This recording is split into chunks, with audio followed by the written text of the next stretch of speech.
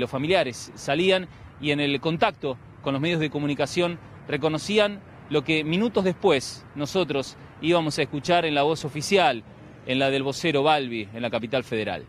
Y ellos nos dijeron, pueden que nos entreguen los muertos, pueden que estén muertos por el tiempo, pero ya nos están adelantando para que nosotros, nosotros nos tenemos que preparar.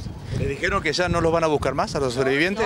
No, no, ellos continúan con la búsqueda, ellos van a continuar. El 5 de diciembre llega ese submarino ruso que es el que va a bajar y, va a ubicar al submarino y, bueno, de ahí se verá si se lo puede, se lo puede este, rescatar, o sea, tienen que ver en qué posición está el submarino, porque van a bajar los otros este, submarinos chiquitos que es el que se va a adherir y va a tratar de sacar los cuerpos, o, con vida o sin vida, pero es, la información que tenemos. ¿Ocultaron información en algún momento? Bueno, pero eso ahora se va, se va a dar a conocer, porque nosotros no lo sabemos eso.